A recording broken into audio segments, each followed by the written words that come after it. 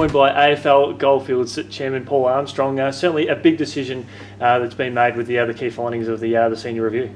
It sure was, Chris. It's a lot of hours went into this, and credit to the full-time staff at the at the Goldfields and and to our three commissioners who worked on the on the on the uh, the panel.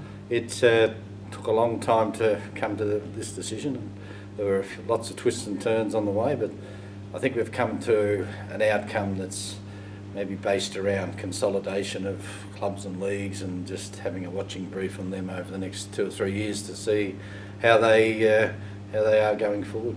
Now, I guess the, the, key thing is that there hasn't been too much result into the change of clubs into leagues and change of league structures. But one of the, the key aspects is that you, the AFL Goldfields Commission has a sound understanding of where each club is at in the short, medium, and long term.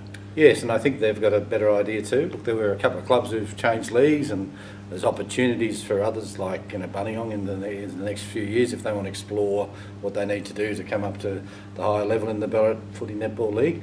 Um, but you're right, the clubs know exactly where they sit, and now they need to just weigh up what their own direction is going forward. And we'll support them through the, the full-time staff here, through resources, or if they need to be more competitive through the through the points and the salary cap and so forth. And we'll do as much as we can to, to help them out. Now, there, there wasn't just sort of one or two meetings with uh, with the clubs. There was there was quite a number of meetings over the course of the year.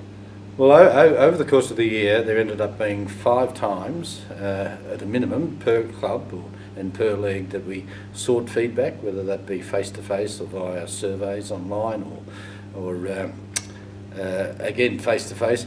It and five times there was a consistent message coming from the majority of clubs, and uh, so that that helped us too. We we really do need to take on board what our stakeholders' uh, thoughts are. And um, as I mentioned in the press conference, it's not so much us against them, it's, it's us as a, as a commission over, overseeing the full-time personnel at Goldfields, who then in turn support football and netball throughout the region. So that was always our fallback position, what's best for footy and netball in this region at this current period of time. And that's why we came up with not so many of the major changes, but as you saw from that report, there's 40 or so minor tinkerings that will have a significant effect when you combine them all. Naturally, the Central Highlands was a, a massive talking point. Uh, how was it to come to the decision to, to not change the, uh, the, the competition structure at all? There was a lot of debate about that, and that was certainly the key thing. And I think everybody understands that the league's too big at 18, it's a little bit too cumbersome. But to split it in half uh, with one club in some doubt about where their future sits, it it opens up a, a, possibility that those one of those two divisions may fall away a little bit if you're in what's perceived to be a weaker division. Uh, it might be more difficult for you to recruit. You only need one or two clubs to either fall over and merge, and then you're back with uh, too few clubs, and then to try to piece that all back together would be really difficult uh, after the horse has bolted, so to speak. So, best to go the other way. We feel for now uh, to see how clubs then determine where their own future is, and if it's in the current league, the current league that they're in, fantastic. Uh, but if they see the need to maybe find a more equitable competition or merge with somebody else or look at other ways that they can be more competitive, we'll certainly help them out. But in the end, it'll be their choice.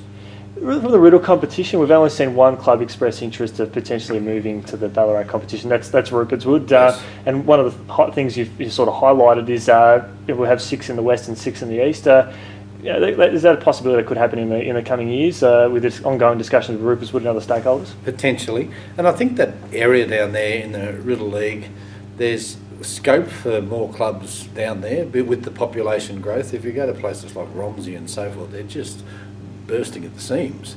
Whereas at the other side of Ballarat, the opposite's probably occurring. So, given that the Riddell League review is going to happen in a couple of years' time, uh, that'll be interesting to see how that all pans out, I think. And I think from a, a Riddell League perspective as well, um, there's not going to be any changes there, despite uh, perhaps a little bit of speculation that that might uh, might occur with uh, under the AFL Goldfields banner. But uh, it, it's safe to say, just with the reviews, that the, the clubs are strong and, uh, and and there's a lot of backing from AFL Goldfields to, to nurture that strength. Yeah, there are. And look, we certainly took into account the difficulties some of the Riddell League clubs face with neighbouring leagues with higher salary caps. So that's something we'll lobby the AFL Victoria about uh, because it just becomes more difficult for them to, to attract players when they uh, up against it really financially. I guess with the Maryborough competition as well, it seems that uh, all is well. Everyone's quite happy. They're uh, they're enjoying the state of uh, of where it's going and, uh, and and looking forward in a positive way. Yeah, and they're realists too. As I said in the report, there's seven clubs within 30 kilometres of Maryborough. Whether that's sustainable or not is yet to be determined, but that'll come to the fore over the next few years, and I think clubs will be able to make a, a, a wise decision about which direction they need to take themselves. And lastly, mate, I know there's a, a big push from the other Ballarat competition to get that all important 12th team. Oh yes, yeah, no, very, and look, fantastic to see. Well, it looks like Sebas uh, on paper are going to be more competitive straight away. It just looks like they've they've worked really hard over the last month or so. Maybe the review sort of has uh, woken a few up down there, but they're. Uh, Look, it's a fantastic facility. You'd hate to lose Sebas. They've been in, in the competition for a long, long time. So hopefully they're, they're successful and then uh, it opens the door then for somebody else to maybe um, grow quickly enough to then be able to compete in the Ballarat Footy League.